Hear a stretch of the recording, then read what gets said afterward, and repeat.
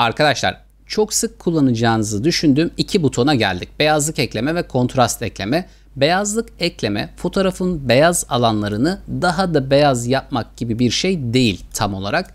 Beyazlık ekleme fotoğraftaki parlak alanlara bir tık beyazlık ekleyerek onu filtreli görünümünden çıkarmak.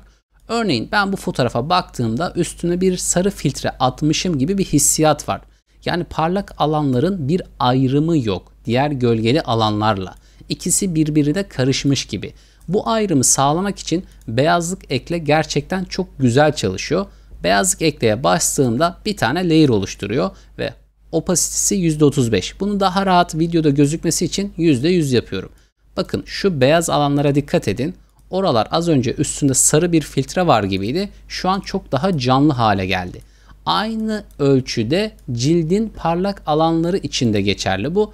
Şu an cildin parlak alanları daha sönük, filtreli, sarı bir filtre atılmış gibi dururken şu an bakın parlak alanları daha beyaz hissinde duruyor. Bu da parlak alanlarla gölgeli alanlar arasındaki ayrımı artırdığı için filtreli gibi Instagram filtresi gibi değil de gerçekten profesyonel bir etki gibi duruyor. Beyazlık ekleme benim çok sık kullandığım tekniklerden biri. Yani özetle parlak ve gölgeli alanlar arasındaki filtreli görüntüyü ortadan kaldırıyor. Parlak alanların daha da beyazlık eklenerek ayrışmasını sağlıyor. Öncesi sonrası. Kontrast ekleme de arkadaşlar fotoğrafa kontrast ekliyor. Fakat kontrast eklerken renk sapmasına mahal vermiyor. Kontrast ekle dediğimde aslında tanımlı bir curse oluşturuyor ve harmanlama modunu luminosity olduğu için renk sapmasını ortadan kaldırıyor. Opasitesi de gayet düşük. O yüzden before after yaptığımda bakın model nasıl ortaya çıktı arkadaşlar. Öncesi sonrası, öncesi sonrası. Burada beyazlık eklemeyi bir tık düşürebiliriz. Örneğin %60 gibi bir değere getirdim. Şimdi öncesi sonrası yaptığımda ayrışmanın çok net olduğunu görebiliyoruz. İki buton yan yana çünkü ikisi genellikle peşi sıra kullanılabilecek butonlar olduğu için öyle konumlandırıldı.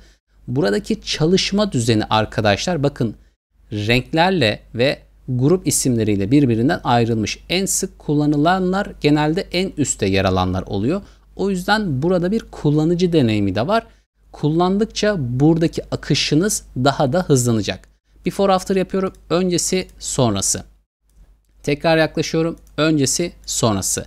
Beyazlık eklemeyle parlak alanlar ve gölgeli alanlar arasındaki filtreli görünüm ortadan kaldırarak ayrışmayı sağladık.